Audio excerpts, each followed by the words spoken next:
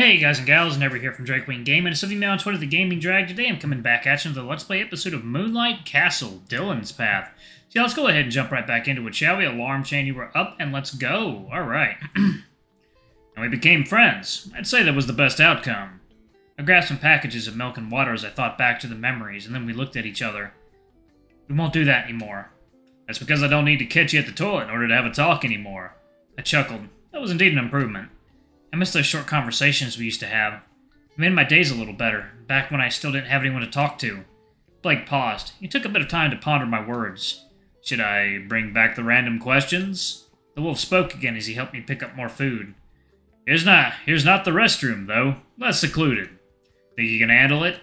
Just ask already. He looked around briefly, and once he was sure that no one was nearby, he leaned closer to whisper in my ear. Are you gay? I almost jumped when he asked the question. Having moved away slightly, I shrugged it off with an awkward sigh. What? You're crazy, I'm... I'm pansexual, if that helps. Upon hearing that, I became less stressed and more curious. You are? The wolf chuckled and he bumped his fist on my shoulder. Ha! Gotcha! There's no way a heterosexual would know what that means. I puffed my cheeks at such generalizations. That's rude. Why wouldn't they? Well, they could, but it's more likely they weren't straight if they knew what it knew what it meant. Pansexuality is difficult to explain to the masses, so most pansexuals think they're better off telling everyone they're gay or bi, and that's only if they want to come out. I, however, prefer to keep that information to myself, and I'm sure most pansexuals also do the same. Most heterosexuals don't have to try so much to explore themselves, and often lack the need to look up any of the labels, so it's unlikely that they find the term on their own. Therefore, unless someone explicitly told them, I doubt they'd know. But what if the masses actually know? And good for them. It's important that they learn about the minorities. I guess that makes a little sense. It was irritating to me that his words were true, though. People should really try to learn more about the minorities. So, are you gay? He leaned forward, his upper body looming over me. The wolf seemed eager to know if he could pull me out of the closet. You won't hate me? Of course not. I was still hesitant about admitting the truth, even though it was already obvious at this point. And you won't think that I'm weird either? By that logic, I'd be weirder than you, and this isn't a competition. Nervously running my hand through my fur on the back of my neck, I sighed. It took all my mental energy just to give him a light nod as a response. I see. I raised my chin to look at his eyes, but the lids were still covering them. I wondered if he knew I was knew I even knew I was staring. Can I ask you something too? It must it must have been a hassle to answer all the things I threw at you. I'd say you deserve to hear what you want to hear from me too. It was one thing that I'd always wanted to ask him, but I'd been too shy to ever dare speak about it, afraid that it might upset him. Okay, here it comes. I took a gulp, trying to quell my anxiety. I've always wondered why you keep your eyes closed most of the time. I wish I hadn't said that, but there was no backing off now. Is your eyesight bad?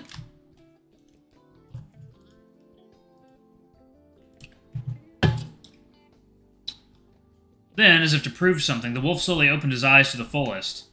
I'd seen those eyes only when he was looking at the sky or when he was mad at someone, but right now he didn't look angry. He always surprised me, you know? I wasn't used to be seeing Blake with those eyes. He looked almost like a different person. Should I not have asked? The opposite, actually. To be honest, I usually get this question around the first week I get to know someone. But you never asked me about it, although we've known each other for quite some time now. I thought it might have been something private. I wasn't sure bringing it up would hurt you. It wasn't like I needed to know it in order to consider you one of my friends. The wolf leaped at me. My vision darkened for a moment, then I realized that my face was buried in his fur. He was squeezing me in a hug.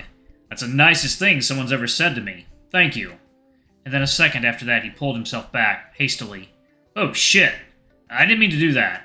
Uh, what you just said really touched me. I hope I didn't cross a line. It's fine. I'm fine. Though, maybe warn me about it next time. I'll keep that in mind. It felt kind of nice, actually, and I was a little disappointed that it ended so fast. Got everything you needed? I'll answer your question on the way back. Clyde is going to get mad if I don't stick to his schedule. I tried to picture in my head the frowning face of the council's president. I ended up frowning myself. I couldn't imagine that a guy like him would be able to express such emotions. Just the thought alone felt foreign to me. Have you ever seen him mad? No, though I've seen him I've seen his not mad, just disappointed face, and it feels like being scolded by a mother. Both of us let out a chuckle, and soon I finished my grocery shopping. We walked out of the building together afterward. Then we made a stop on the sidewalk in front of the mall in order to talk with each other. I need to bring these home before the meeting. We'll have to part ways here. You can stop stalling now. That's unfortunate. Spending time with you is just so relaxing. Time goes too fast. He sat on a bench that was nearby and he invited me to join him so that he could tell me the answer I'd been waiting for. I have trouble sleeping. They told me years ago that it was insomnia, but I haven't gone back to check it out again. That explains the baggy eyes you have. Do you take any medicine? Yes, sometimes. I try not to abuse it, but it's not that simple. Is that why you always keep your eyes closed? It's a lack of sleep. I'm so tired that I can't keep my eyes open, so I let them rest unless I really have to use them. My sense of smell and hearing ended up improving since I rely so much on them to know my surroundings. You made it sound so cool, and you shouldn't have. Hmm, we depend too much on our eyesight. I think it's cool that I can tell who's just who is uh, who it is just by listening to their footsteps. Okay, that's cool and all, but don't you still have trouble sleeping? You look tired all the time. It's manageable. I feel both tired and not tired at the same time. One eventually gets used to it. Any idea the cause of it? He paused. His tired look was never too obvious to me, but now that he told me about it, I couldn't help but noticing it all the time.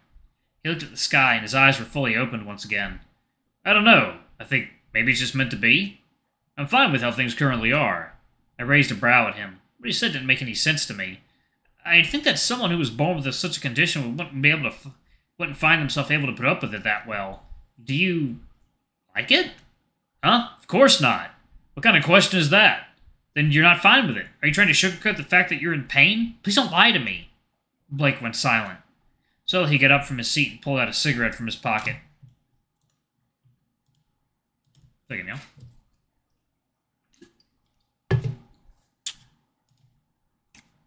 It's complicated. I didn't lie, but what you said isn't wrong either. The wolf then started to march, likely on his way back to Clyde. Blake! He came to a halt upon hearing me call his name. He turned around. His eyes were half hiding behind his lids, much like my face under my hat most times. Why don't we play this game, game again some other time? I'll ask you a question. You answer truthfully, and then get to ask me something too. It was fun. Got me thinking. How he downplayed the problem, treating it as some game, pissed me off. I stood up and yelled after him. Fine, next time we hang out, I'll, I'll get you to admit how you really feel. He grinned. Ah, yes, I love that energy. Maybe one day I'll ask you to pose for a drawing. Who knows? Later, Joel. Blake waved as he walked away, and I kept staring at him until the crowd eventually hid him from my sight. I grabbed my grocery bags and hurried home. The time of our appointment was fast approaching, and I was being way too slow. Thankfully, my apartment was near all the places that I needed to be. Seeing my pantry filled with actual food brightened my mood a little. While that work seemed to pay off now, and it was quite rewarding. I took a glance at my computer and skimmed the messages that I didn't read, but it seemed that nothing important happened. Our plans remained unchanged. I took a moment to rest and charged up my phone before I headed to Russell's. I wanted to arrive early and wait for the others to join me. This could be my chance to take a closer look at Russell's job and see the bull in action with no interruption. He didn't share much about his life, so I was hoping to catch a glimpse of it by myself. I wasn't sure what I expected to see upon arriving at the shop. However, the sight I had surely the sight I had surely left me with a taste of disappointment. The bull was serving drinks to a couple of elders in the corner. The two elders were playing cards with one another, and there was no sign of any other tables being used. Was the place really doing as well as uh, uh, doing well as much as Russell had claimed that it was? I thought about it for a while before I managed to shake it off my head and sit myself at my usual spot. The counter was the only thing separating me from separating him and me. You're the first to come. I didn't have many classes today. Russell! An unfamiliar voice whispered from the back, causing the bull to immediately turn around. What are you doing here? You should be resting still. I could hear the owner of that new voice of that new voice coughing, trying to speak, and Russell sounded worried. The bull pushed the other person back inside the room and followed him in. No, yes, maybe next time. Yes, food. Yes, fine. I could barely hear Russell's responses to the person, but I couldn't hear anything from the person that the bull was talking with. As soon as the bovine returned to the counter, I asked him, Who is that? The owner. He's stubborn and sometimes incredibly stupid. Stupid? Second, y'all. Water time. Alright, guys and gals, we are back. Let's jump back into it, shall we? His face contorted into a grimace as he continued to speak. If you're sick, you stay in bed and rest, not walk down the stairs for dumb reasons. Maybe it was something important. You asked him about it. He wanted to meet my quote-unquote friends. That's adorable, just like a father would. Adoptive father, yes. Awkwardly, I tried to laugh it off. I was hit by the feeling that I'd said something I shouldn't have, and it was hitting me like a truck. I, I didn't know. You didn't ask either. This place is a family business, and the owner is also my adoptive father. He seemed nice. Yeah. I tried my best to save the conversation, but it seemed Russell didn't want to, didn't want to open up, and he was pushing me away. I tapped my fingers on the table, frustrated at myself. Then I rested my head on the counter and sank myself into the seat. My childhood wasn't good, Joel. It isn't something we should talk about, that's all. I tilted my face back up with, and met with a cup of hot chocolate. For me? On the house. You'll like it. I stared at the shaky reflection of my face in the drink before taking a sip. The warmth surely helped ease the stress that had been piled up on me.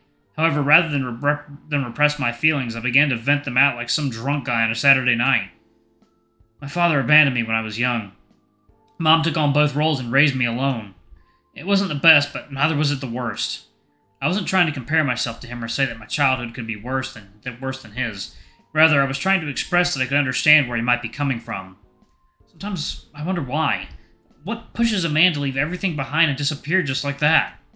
Maybe he had a reason. I even wanted to meet him and ask him about it, but I could never dare speak to him with speak about him with mom. It's not easy to deal with betrayal. I know that myself. Mom started dating this guy, and everything became so much worse. I reached for my cup to have another sip, but it was freely em already empty. They say it's easier to speak when you're drinking. It seems you've been bottling up your feelings. My ears flickered at his words. It might be true, but I wasn't looking for advice right now. When did we swap our roles? I was trying to hear you out. Bartenders can't mix their personal life and job. The ability to stay neutral and impartial is an essential quality in our line of work. I felt defeated. Russell was way harder to pry into than anybody else. Nothing I'd said worked. If you were to ask me when I wasn't working, though, things would be different. That was the light I needed to see at the end of the tunnel. My body bounced right up from the counter. Can I? I mean, if it's not a problem, of course. Yes, as long as you keep everything that happened here a secret. I have my reasons. Oh, sure. I wondered what the reason was, but I knew that he wouldn't tell me. Maybe he didn't like to reveal whether he was adopted. Honestly, that didn't matter to me, but I was still too afraid to say anything. What if my assumptions were wrong? That'd be the most embarrassing thing I did this year yet. Someone is thinking! I snapped my away from my thoughts and back to reality as I felt the big arms wrapped around me and the giant fluff brushing the side of my neck. I turned my head a little to see if to see and found Orion's face squished on the counter. It was as if he was trying to peek at my face without bothering me.